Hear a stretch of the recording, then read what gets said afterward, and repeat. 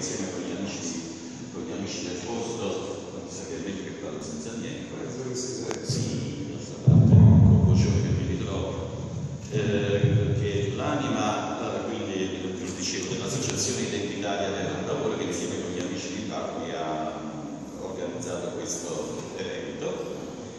Eh, ringrazio chi mi ha preceduto perché eh, effettivamente il documentario è stato ricco di suggestioni, nel mio caso anche ha suggerito più ricordi, visto che ho avuto la fortuna di visitare durante questi luoghi, voglio dire, sia questo castello già in passato, sia eh, la villa, no?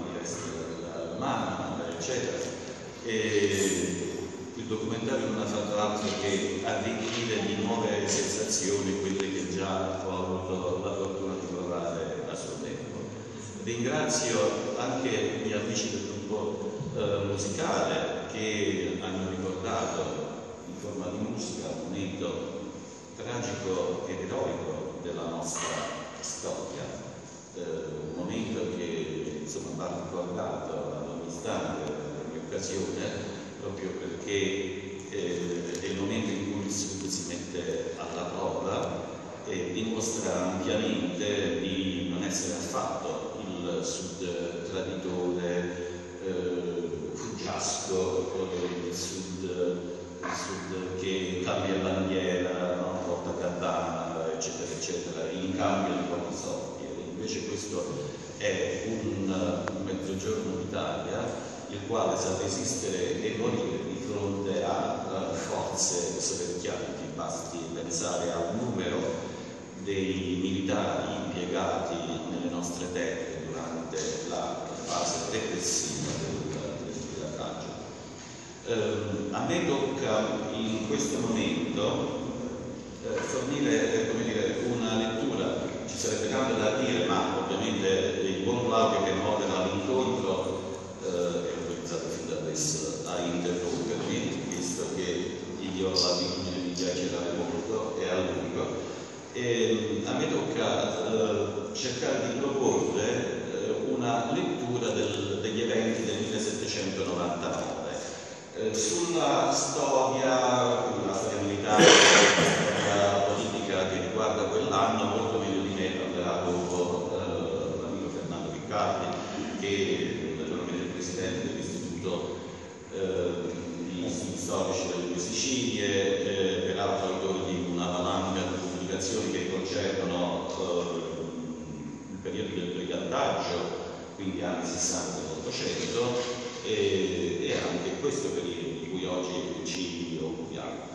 Quindi eh, Fernando Riccardi parlerà soprattutto di questo, io invece mi intrattengo un po' su quelli che possono essere dei significati che almeno personalmente cerco di vedere in questa vicenda e che quindi ehm, cercano di mostrare come questo sia un anno particolarmente importante e per la storia del Sud, ma non solo, ehm, per la storia europea in generale, essendo indice di, un, di uno scontro di civiltà.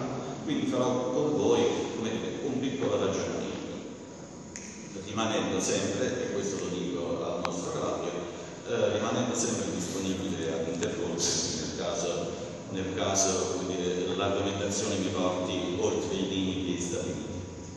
E allora, ehm, ho avuto la fortuna di vedere che eh, nel numero 2 della fiera, vista che molti di noi conoscono, fondata da Silvio Vitale in anni oramai no, parliamo dei primissimi anni 60, eh, nel numero 2 di quella rivista già Silvio Vidale citava tra le fonti per la comprensione del significato del 1799 un libro di Coraggio, di Francesco Coraggio, che poi sarebbe divenuto, divenuto eh, presidente della giunta di istruzione, insomma sostanzialmente un ministro dell'istruzione, no? ma negli anni successivi.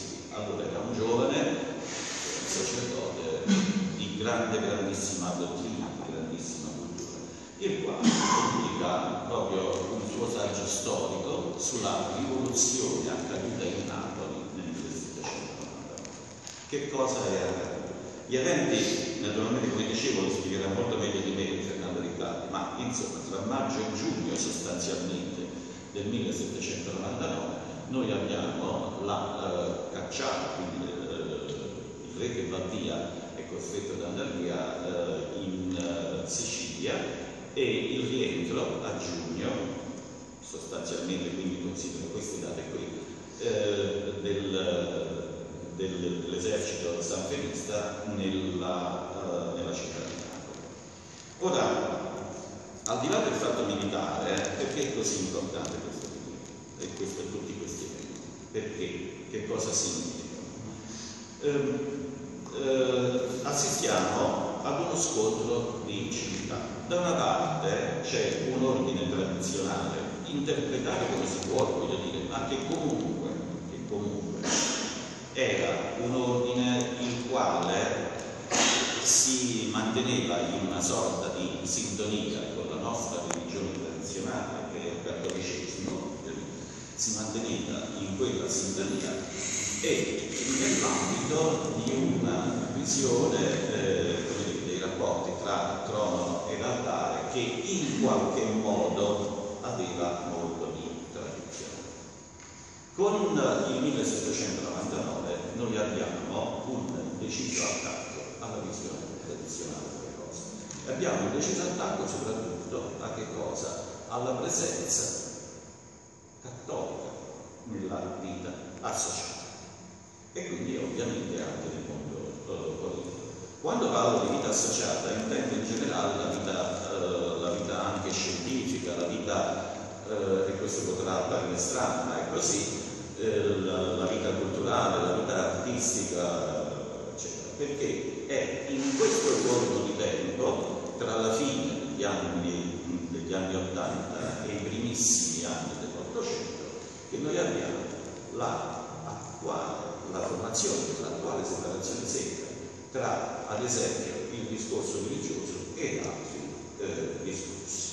Questo accade tanto in campo scientifico quanto nel campo della teoria, teoria politica, eccetera. Quindi adesso cerchiamo di fare eh, qualche esempio. Ovviamente nel 1799, quando arrivano i francesi e si proclamano eh, liberatori, ovviamente del popolo, eh, del popolo napoletano, eh, è chiaro che ci sono dei ringraziamento, è chiaro che quando organizzano l'Istituto Nazionale della Repubblica eh, Napoletana nominano all'interno di questo Istituto Nazionale, che doveva essere un po' la grande accademia di cultura della, della Repubblica Napoletana, eh, nominano eh, personalità di sicura obbedienza, di sicuro sentimento legittimista, no? addirittura nominano il eh, medico della famiglia reale, il medico del re, no? quindi il Cotugno, a cui poi è rimasto titolato uno dei piccoli di ospedale di Napoli. Eh, che so io, il pittore di corte, eh, viene nominato Nicola Ferro, cattolico di Ferro, eh, addirittura il paesiello, no? che tutti conosciamo eh, come Bellino del regno degli esercizi. Sono tutti nominati nell'Istituto Nazionale della Repubblica eh, Napoletana, ovviamente insieme ai grandi protagonisti della vicenda rivoluzionaria, che so io, Domenico Cito, scienziato botanico Insigne, eccetera, eccetera, ma ci sono anche questi qui. Allora, eh, si potrebbe dire, ma in fondo questa Repubblica guardava più alla patria che all'opposizione alla Chiesa, e invece eh, non è esattamente questo, perché? È vero che queste personalità vengono coinvolte, ma in realtà si cerca di farne addirittura un uso quasi strumentale, eh, perché la verità propria è che c'è un attacco massivo all'ordine tradizionale. E il primo e più importante segno, sul piano penale, diciamo così, c'è la voglia di risarcire, si parla di risarcimento delle truppe francesi con opere d'arte, no? questa è una razzia uh, voglio dire, segnano un po' il nostro destino. Ma poi c'è eh, la voglia precisa di segnare un distacco rispetto all'ordine eh, tradizionale che si vede già nel momento in cui si adotta il calendario, la cronologia repubblicana, la cronologia rivoluzionaria. Noi abbiamo sempre contato gli anni a partire dalla nascita del nostro Signore e a un certo punto si cominciano a contare gli anni invece dalla prima Costituzione francese. Quindi eh, siccome si, si, chiamano diversamente i, nomi, i mesi con nomi diversi, eccetera, eccetera. Quindi già questo è profondamente significativo. È vero che c'è una parte del clero che non si capisce tutto questo, qualcuno perché magari abbondantemente, ma si tratta di pochi elementi, eh, perché abbondantemente eh, nutrito di ideali massonici o giansenisti, eh, qualcun altro semplicemente perché vede necessario eh, rispettare il nuovo ordine eh, politico, ma la gran parte del clero è schierata su altre basi, su altri eh, e allora che cosa accade? Perché è così importante questo anno, questo 1799? Eh, Colangelo, nella sua disamina, che non ha niente di cronatistico, proprio perché è interessata soprattutto a vederne il significato, quindi non è come Petromasi che invece è la narrazione, la cronaca dell'impresa di, eh, di Fabrizio Ruffo, questo cardinale straordinariamente capace, eh, Don Angelo fa vedere proprio quali siano gli ideali di fondo e come essi siano eversivi dell'ordine tradizionale.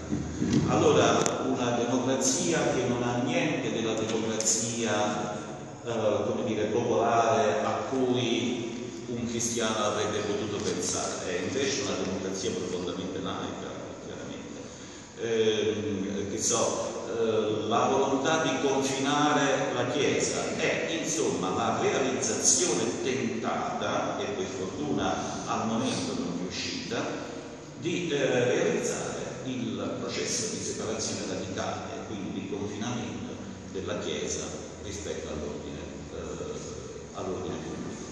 Ehm, ripeto, è un periodo che anche nel campo scientifico mostra queste, eh, queste eh, caratteristiche. Si pensa soltanto che addirittura i matematici, no? addirittura i matematici si dividono in due schiere eh, proprio perché ci sono quelli i quali sentono con maggiore forza l'esigenza eh, armonizzare la matematica, parlo della scuola ovviamente di Nicola Ferra, eh, di armonizzare la matematica con la teologia, dall'altra parte eh, quelli che invece vogliono un sapere matematico completamente autonomo. eh, il 1799 da questo punto di vista è un anno di, eh, che fa da discrimine. La figura del cardinale Ruffo, cardinale senza essere mai stato ordinato sacerdote, no? e quindi era anche da questo punto di vista la cosa è perfettamente legittima, ci mancherebbe, ma era una situazione piuttosto strana, ovviamente inconsueta. Eh, la figura del cardinale Ruffo invece per parte sua che cosa rappresenta? Rappresenta la possibilità effettiva di coniugare una fedeltà alla tradizione, autentica alla tradizione, con delle istanze di rinnovamento. Rappresenta anche la volontà proprio sul piano militare di coniugare l'ordine, la disciplina che deve contraddistinguere la vita di un esercito anche con la capacità di stringere, intanto di rispettare il nemico e su questa base del rispetto del nemico di, eh, di conferirgli dignità e di rispettarne la vita, sapendo anche perdonare.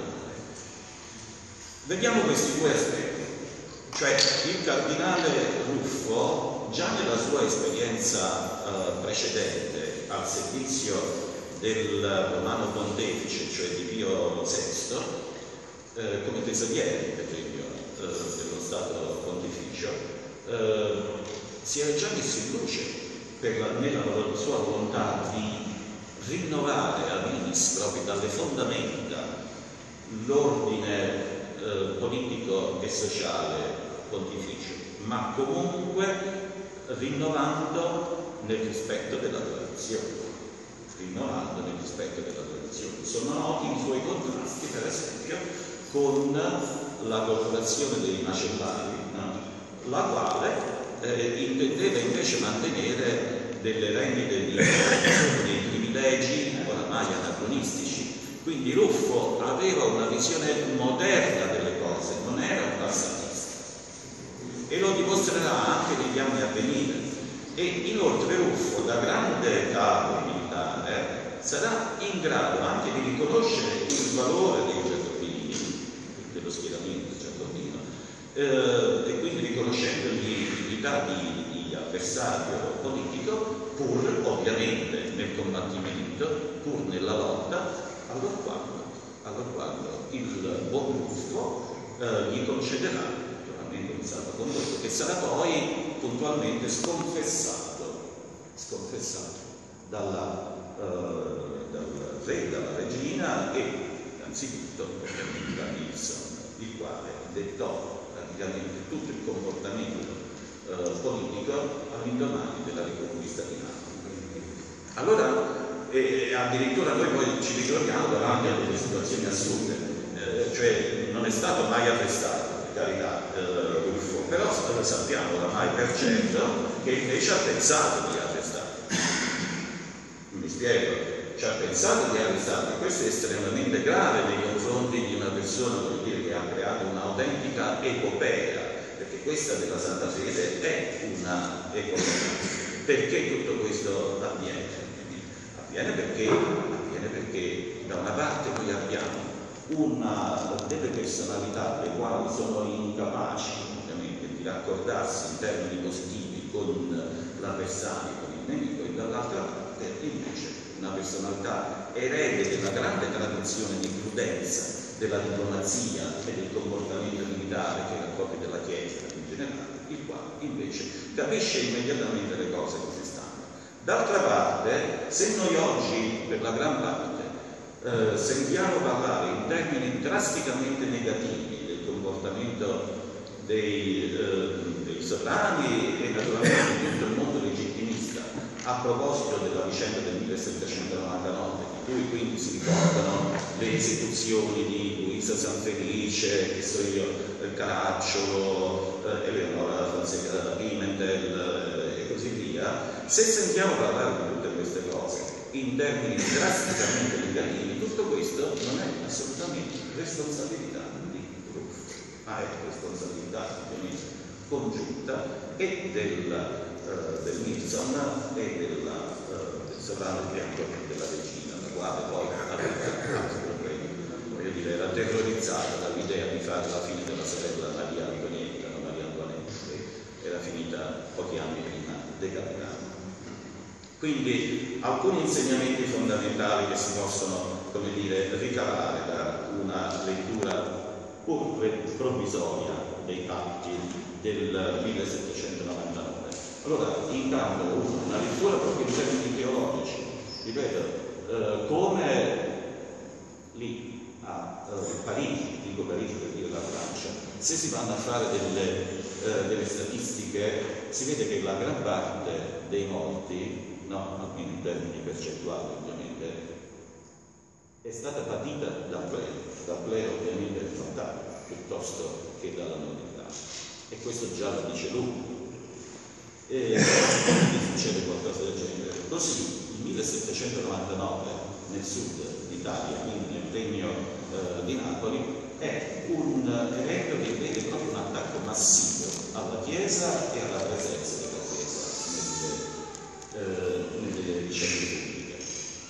che si realizza un antico progetto, così dice Polano, vero, non vero, eh, c'è dell'inventato, insomma è tutto da discutere, ma si parlava da tempo di questo progetto di, eh, dei giansenisti di vendicarsi no, delle vecchie condanne unigeniche e così via, e che eh, ora trovano, trova questo vecchio progetto finalmente la sua realizzazione. Quindi da una parte questo tentativo eh, che ha una chiara impostazione di tipo la diffusione addirittura di culti nuovi no? all'interno della compagine pubblica, dall'altra parte questa figura Ruffo, la quale giganteggia per equilibrio, per sagacia politica e per ardimento nella risoluzione di, queste di cose a cui i rivoluzionari giacobini ci avevano uh, costretti. Io mi fermerei a questo punto.